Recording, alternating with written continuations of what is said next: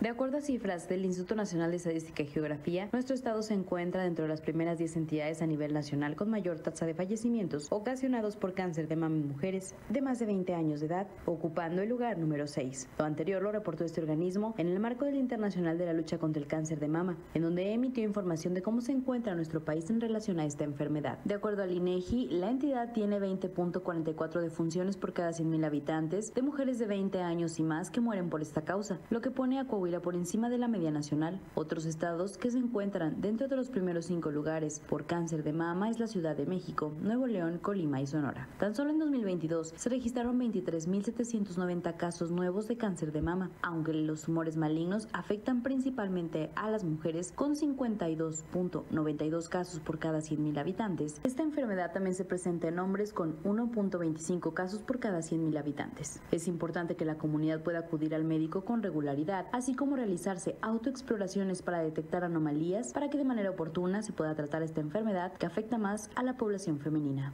Para Enlace 13, Denisa Maniego.